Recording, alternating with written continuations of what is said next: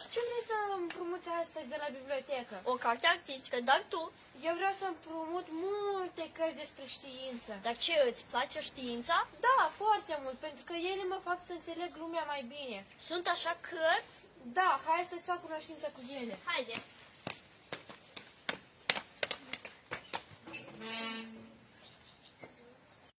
Ți-am spus eu că sunt multe cărți despre știință. Wow, sunt multe, chiar. Știința lui de ce? Răspunsul la întrebări despre lumea din, din jur. Și cele mai simple experimente științifice din lume. Dar chiar și este clubul geniilor. Și experimente magice, dar eu astăzi vă voi împrumuta pe aceasta, Enciclopedia Științei. Vă invităm, dragi copii, la bibliotecă ca să împrumutați cărți despre știință.